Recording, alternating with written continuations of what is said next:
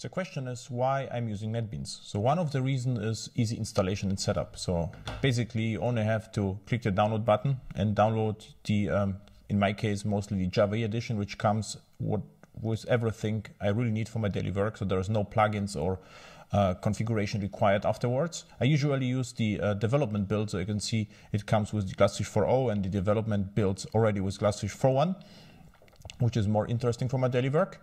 So, and after clicking download, I would just get a, a, a DMG on Mac or Exe on, on Windows. And after double clicking it, it installs the um, NetBeans without asking any further questions. So it just um, install not only NetBeans, but your application server as well. So after installation, you can easily start the uh, IDE. And uh, yeah, startup is fast. And um, after starting, you see here um, that um, I have set up here a projects group. What project groups is, you can you can create an uh, arbitrary any any set of projects you like or work fre frequently on it. So Junk is usually my presentations are my presentations. Um, files is the file perspective. Um, what it actually means is you will see the actual contents of a project. Um, uh, and this is more or less a project view, so some some some files are not shown. And services, it comes with um, with a pre-built database. So pre, uh, this is Derby, so I can connect to the database right away, uh, the sample database, and just you know browse the tables and um, view the data and even modify the database. There's nice database viewer built in. Then uh, web services, those are more or less uh, pointers to uh, services on the web. You can use it for for for, for examples.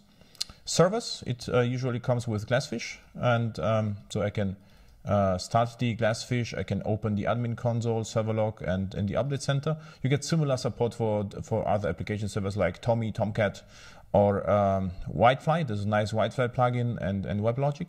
So uh, Maven repositories, so the same. I have um, local Maven and, and Maven Central. So you can browse the repositories. Also very useful cloud. You could uh, add a cloud provider like uh, Amazon Beanstalk, for instance.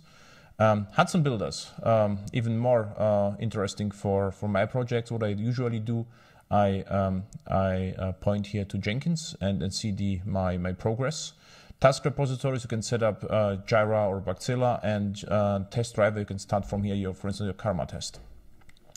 So, um, so why why I actually am using NetBeans? Because uh, I can can save a lot of time for setup and configuration, and even more important, uh, NetBeans is uh, interoperable between team members without um, any further configuration because there are actually uh, or effectively uh, uh, no plugins required for Java E and Java SE work. You get everything out of the box, uh, out of the box, so it is, is um, compatible, and it, it, becomes even more important for my workshops because you know the attendees come from all over the world, and um, I cannot just expect everyone to install uh, you know a magnitude of plugins before the show.